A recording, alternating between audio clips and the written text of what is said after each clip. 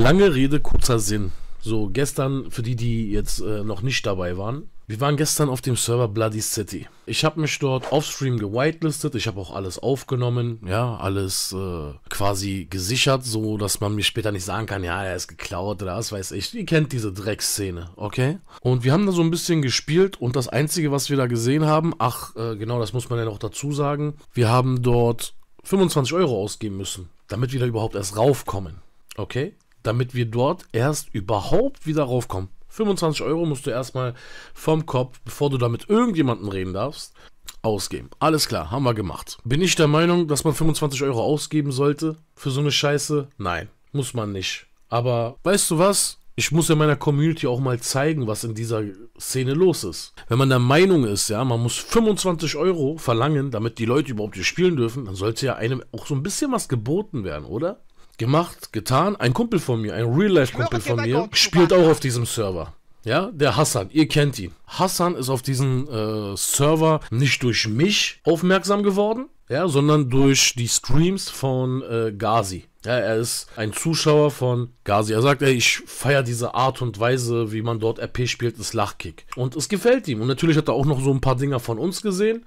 Ja, meine Streams guckt er sich ja auch rein. Er ist ja auch hier aktiv im Chat. Ihr seht ihn, ihr kennt ihn. Alles gut. Er hat sich dafür entschieden, dort zu spielen. Und das ist schon so ein paar Tage her. Das ist jetzt nicht so, dass ich da jetzt sofort draufgegangen bin. Und ihr habt gestern gesehen, was da los war. Ja, von äh, rassistischen Trollern ja, bis hin zu, äh, Digga, ich will jetzt hier gar nicht von Fail-RP oder sowas reden. Leute, ich will hier jetzt ähm, nicht erzählen, oh, das ist Fail-RP und da war äh, hier, äh, keine Ahnung, äh, äh Metagaming, ey, da, davon will ich gar nicht reden. Ich möchte euch sagen, ich habe Server gesehen, auf denen es nicht mal eine Whitelist gibt und trotzdem hast du so eine Scheiße da nicht erlebt. Habt ihr die Geschichte mit den äh, Ballers da gesehen, ja? Leute, die komplett also es waren komplett, ich will, ich will nicht zu sehr auf diese Leute eingehen, weil es nicht alle von denen, aber das waren einige einfach komplett bescheuert in der Birne. Ge geistig beschränkt, ja. Also die verdienen dort, also somit verdienen die ihr Geld an geistig beschränkten Menschen. Alles klar. Also ihr habt gesehen, was da passiert ist und der, der Chat hat mir gesagt, Bruder, geh in den Support. Das kann, das geht nicht, Alter. Was ist das denn für eine Scheiße? Während wir im Support waren und die das gesehen haben und die ersten Supporter, die da waren, die meinten eigentlich, ey, Digga, das geht nicht.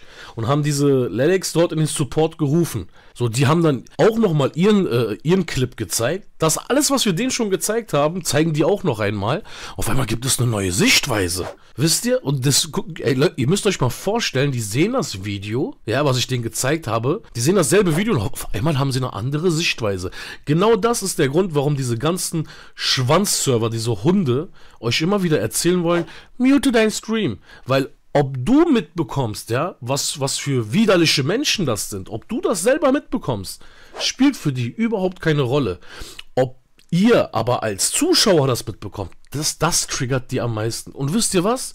Heute werdet ihr richtig böse getriggert. Also nicht die Zuschauer, sondern diese kleinen Hunde, die euch immer erzählen, mute den Stream. Und gerade der Schwanz, der sein Regelwerk da aufgeschrieben hat, als, Digga, dein Regelwerk, ich sag dir ganz ehrlich, ne, mein Klopapier, mein Klopapier ist mehr wert. Auf einmal kommt dann ein anderer Supporter dazu, ein, also, ihr, ihr, müsst euch vorstellen, ein, ein Stück ja, kommt da an mit einer Art und Weise, man würde denken, guck mal, du bist ein arbeitsloser Peach und fühlst dich in einem Discord, weil du ein Admin bist? Er kommt mit einer Art und Weise, also was ich da gerade gesehen habe, nein, du, du wirst jetzt erstmal gebannt. Ich so, wer denn? Ich? Das hatten wir ja noch on Stream, ne? Ihr, ihr konntet die nicht hören. Oder vielleicht auch nur ein, zum Stück ein bisschen. Und dann hat er mich direkt gebannt. Und die anderen durften weiter drin spielen. Hassan ist noch auf dem Server. Ja, er ist noch in dem Discord. Die sitzen dort mit sechs Supportern und zwei von diesen Hunden da und reden alle auf Hassan ein. Ihr habt mitbekommen, wie dieser kleine Schwanz sich dort noch entschuldigt hat, weil er zu Hassan gesagt hat, ich fick deine Mutter. Der hat das sogar auch im Support zugegeben. Am Ende des Tages, lange Rede, kurzer Sinn, haben sie zu Hassan gesagt, Hassan, du wirst jetzt gebannt, weil du beleidigt hast. Er meinte, hä? Warte mal, wo habe ich denn beleidigt? Wo habe ich denn beleidigt? Du Bastard. Er sagt, du hast doch gesagt, hier, unter Ede und sowas. Als er zu ihm gesagt hat, ja, du kannst meine Hand küssen, unter Ede und sowas. Das ist eine Beleidigung. Er meinte, ja, und? Das ist jetzt, ja, das ist eine Beleidigung. Also wirst du jetzt gebannt. Und haben ihn damit gebannt. Und die Leute, die dort diesen Scheiß gestern da abgezogen haben, durften, dürfen weiterhin da bleiben. Ich habe denen natürlich maximal gesagt, was sie sind. Ich sag auch hier noch einmal an Kianusch, der immer in seinen Streams sagt. Die Theorie, dass die Erde rund ist, gibt es auch circa seit 300, 400 Jahren. Ehrlich. Und es gibt kein Bild von der Erde, ne? Leute, das wollte ich auch nochmal sagen.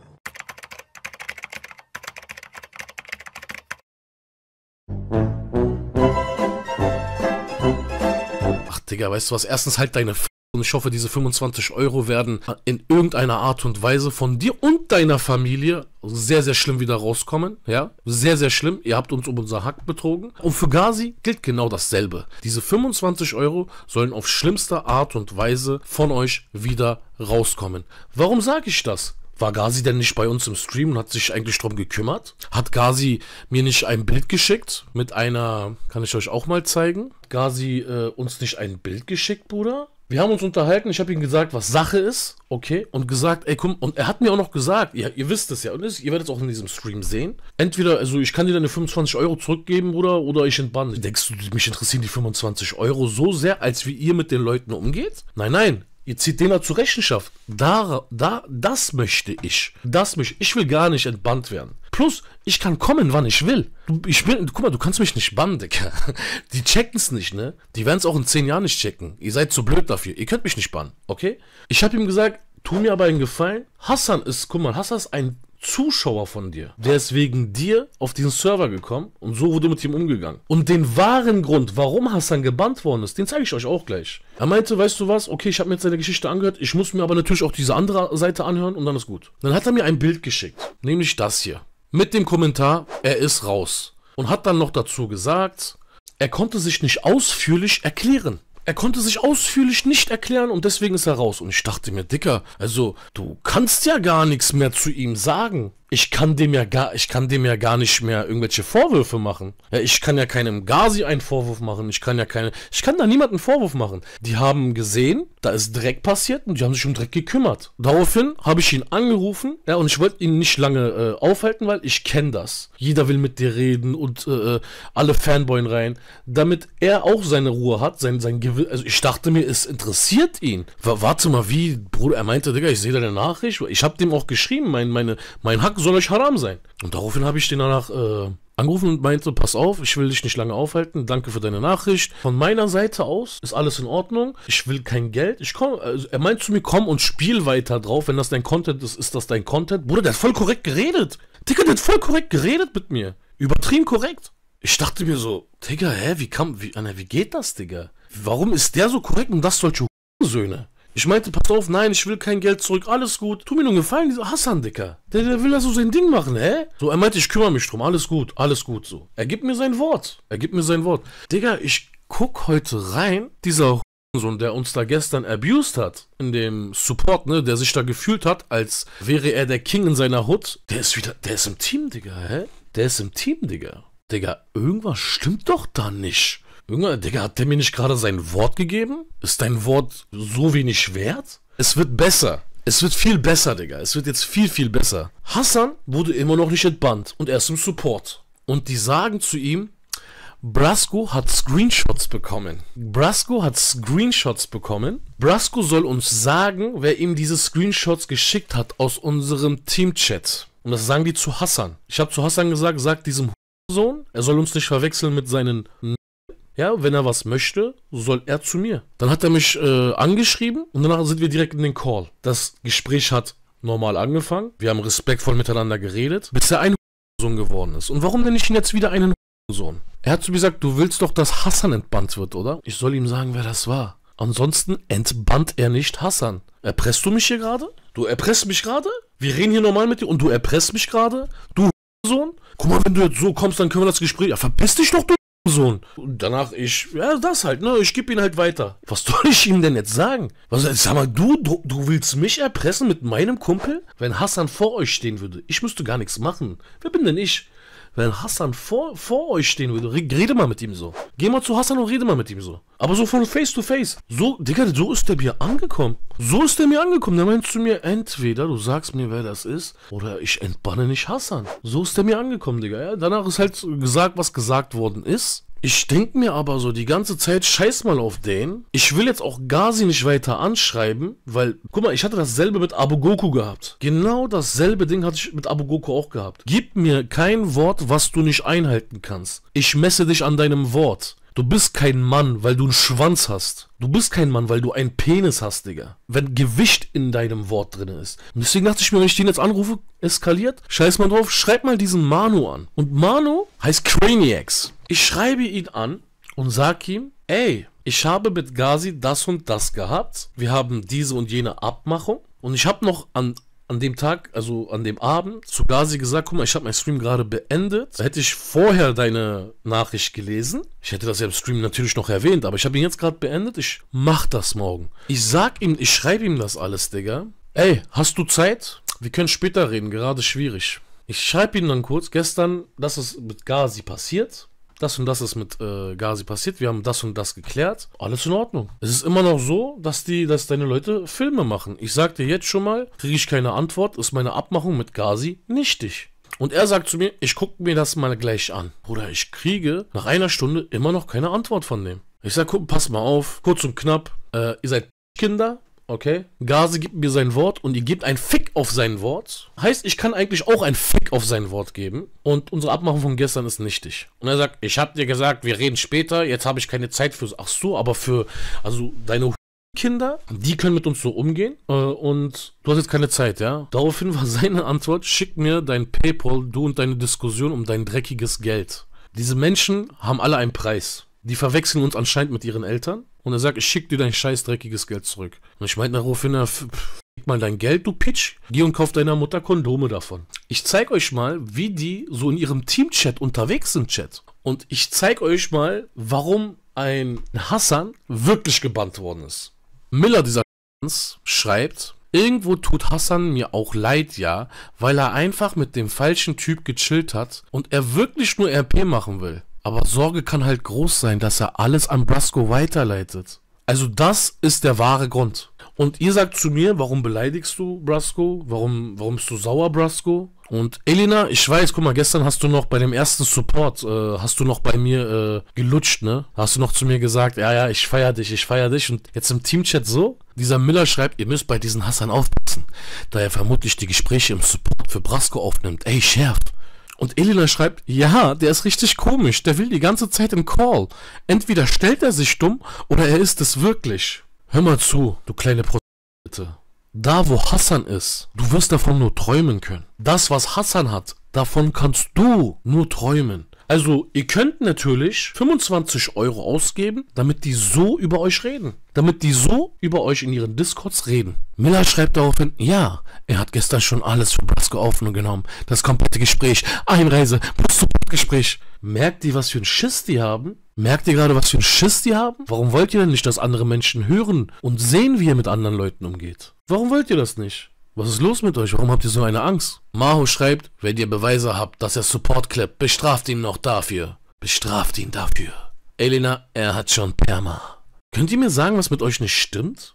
Könnt ihr mir sagen, was mit euch nicht stimmt? Jane, ihr wisst, dass der Junge gar nichts falsch gemacht hat. Das sagt ihr da, das schreibt ihr da. Aber euer, euer minimales, wirklich minimales, kleines Ego muss ihn trotzdem bannen? Was seid ihr für, für Menschen? Und ich will dazu nochmal erwähnen, das sind Menschen, die erzählen euch, Alhamdulillah, wir sind Muslime. Und so gehen die im Ramadan mit euch um, Digga. Ich sage jetzt noch einmal hier, jeder Mensch, jeder einzelne Mensch, der jüdisches Glauben hat, ja, der, der sagt, ich bin Jude, ist mehr Moslem als ihr.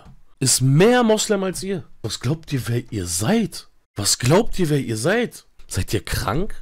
Und nach dies, ich weiß, nach diesen Aufnahmen werdet ihr immer wieder Angst haben, in euren Teamchats weiter reinzuschreiben. Jetzt gerade auch. Jetzt gerade auch.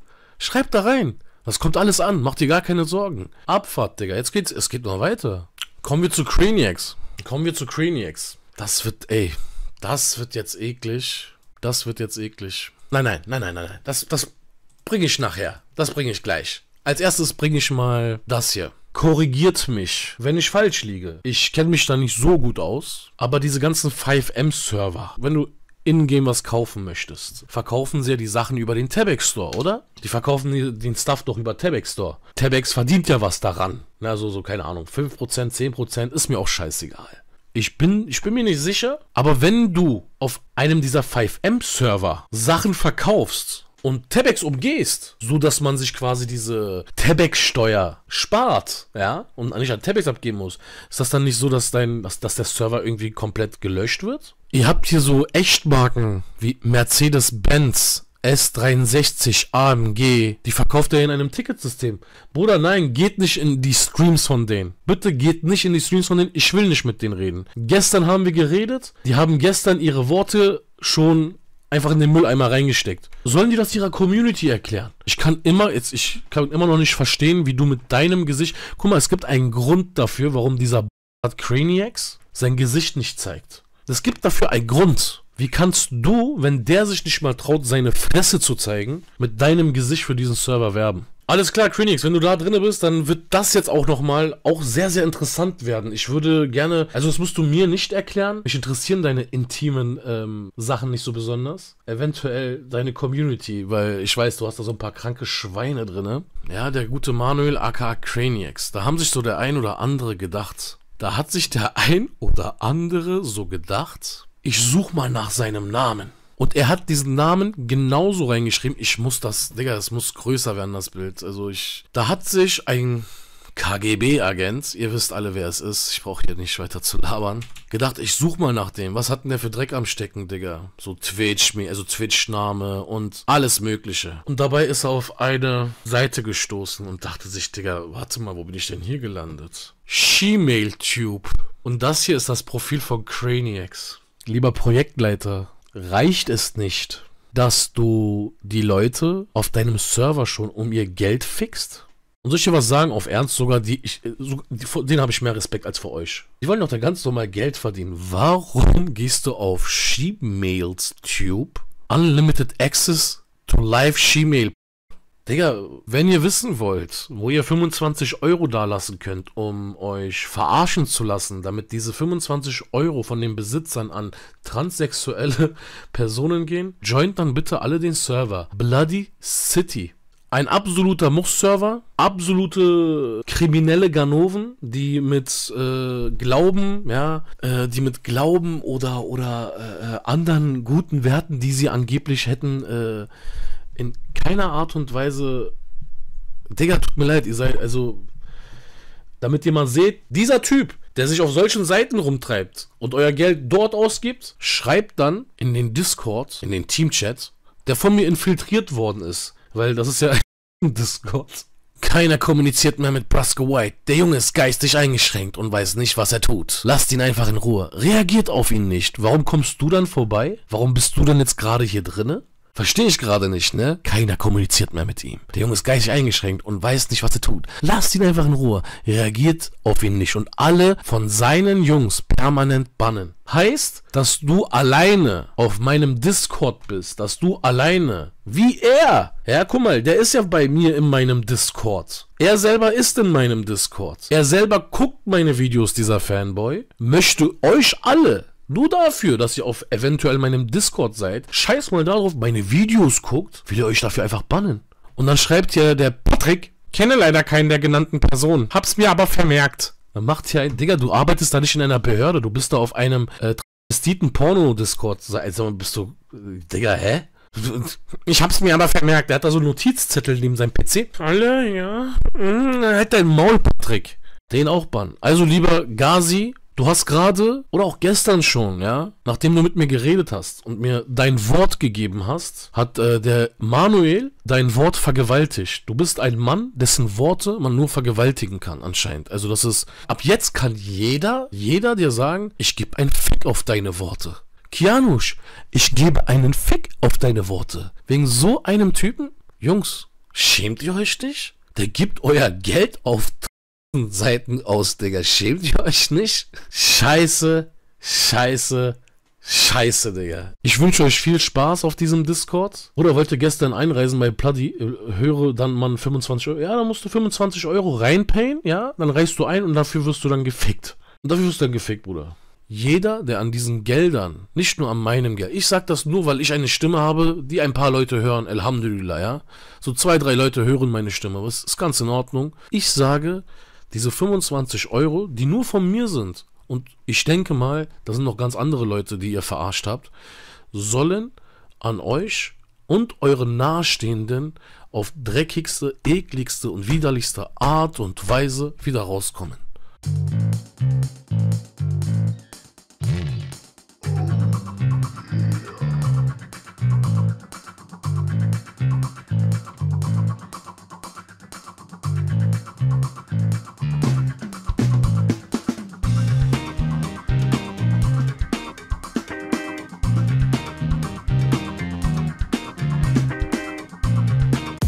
Alaikum.